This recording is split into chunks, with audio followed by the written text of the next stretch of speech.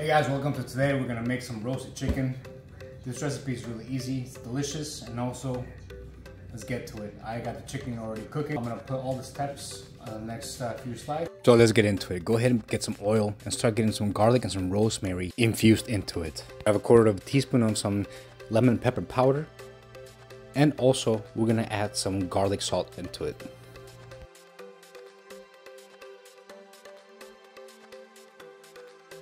Also gonna have a tablespoon and a half of some sea salt ready for some seasoning. Line your pan with some foil and get ready to start marinating your chicken.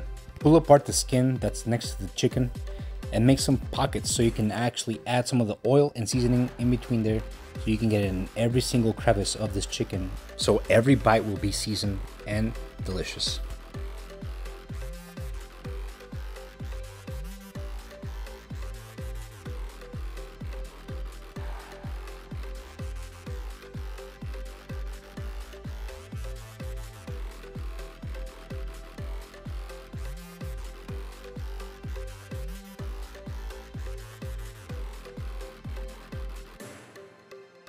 You're gonna grab a colander and use the oil mix of rosemary and garlic, roasted garlic, to season and pretty much oil the whole inside and outside of the chicken. Make sure you massage every single crevice with this infused oil mixture.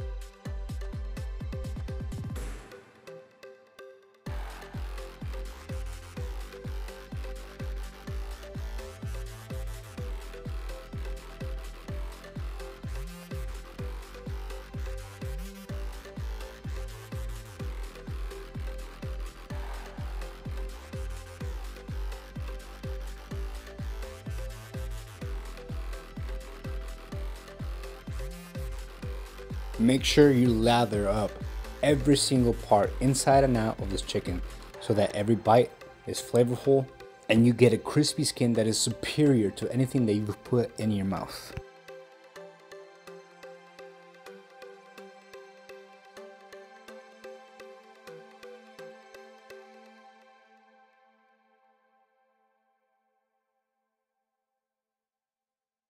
At this point, make sure you fold the wings inside so they don't burn. The tips will always tend to burn first. So go ahead and fold them in so they don't burn on you.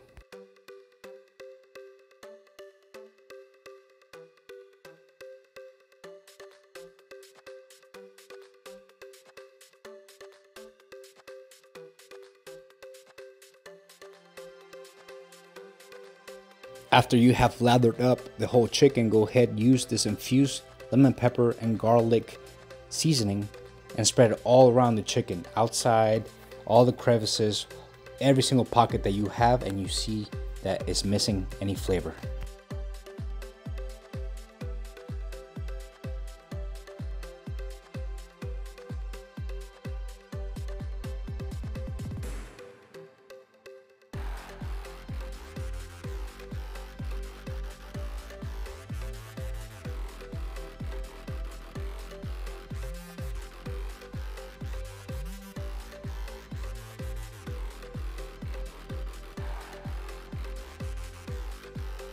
Go ahead and grab your sea salt and start sprinkling this thing all over the chicken.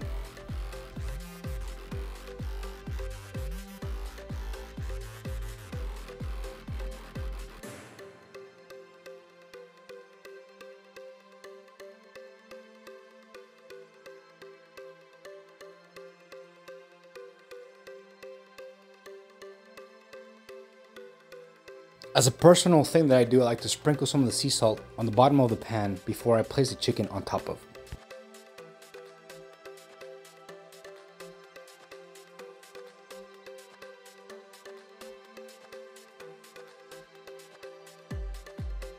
Make sure your wings stay tucked in and every single part of it is perfectly placed inside the pan.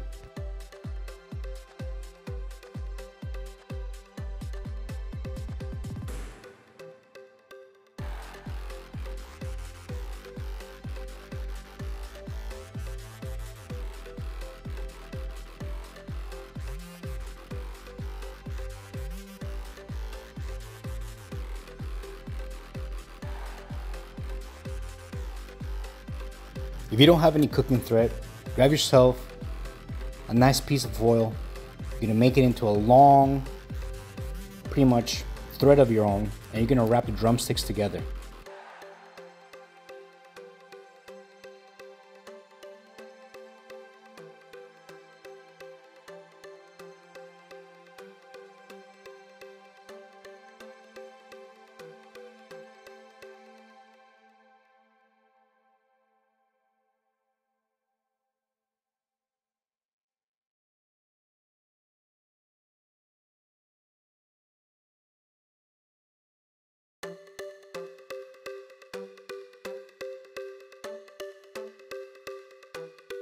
Grab some foil and go ahead and cover the whole chicken and before we place it in the oven.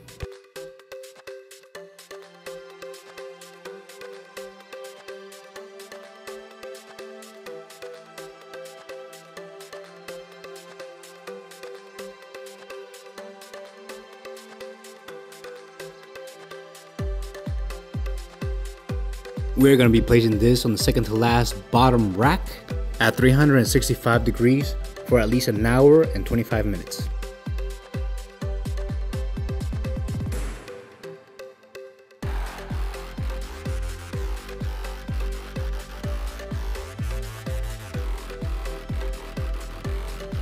This right here is the sauce so we pour after we have cooked chicken, after we have taken the foil off. You just kind of add more flavor, a lot more flavor um, levels to this chicken recipe. And I'm telling you, this is gonna be one of the best recipes you have. And you can show it to your friends, you can show it to your family. You can even show it to your wife if you don't know how to cook. You can impress her. So, this right here is liquid and I will post every single thing that I put in here. Don't forget to like and subscribe. We have a lot more recipes, a lot more events, a lot more things to do, gym, and advice about life, Christ, and everything else that involves a good life. So this liquid is gonna stay right here until we start basting our chicken.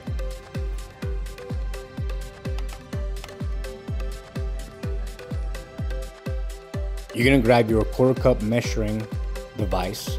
You're gonna fill every single component that I'm gonna show you only halfway. So you're gonna use half a quarter cup.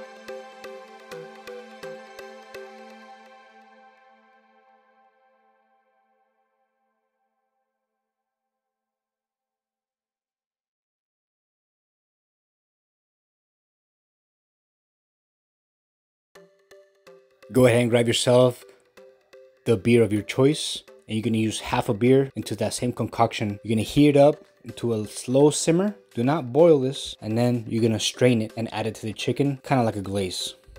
All right guys, check this out. This, tur this turkey, this chicken has been in for about almost an hour or so. And literally all, all we're gonna do is gonna tilt the, turkey, the, turkey, the chicken up I'm gonna pour a little bit of the sauce inside of the cavity and make sure it stays in there. Right, so what we're gonna do is I'm gonna fold this and create a little ledge so the turkey or the chicken can stay up there and the juices will be maintained in there while they brew. The rest of it, we're gonna pour all around it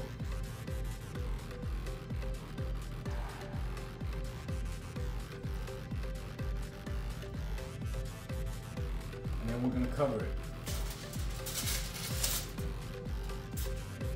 More. And we're gonna cover it again, pop it back in.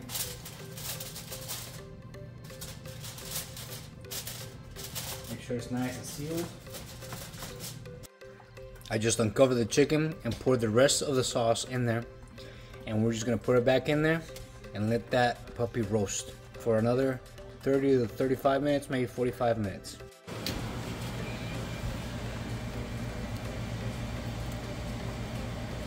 Oh yeah. That's what you want. Okay, it's time to pull this baby out.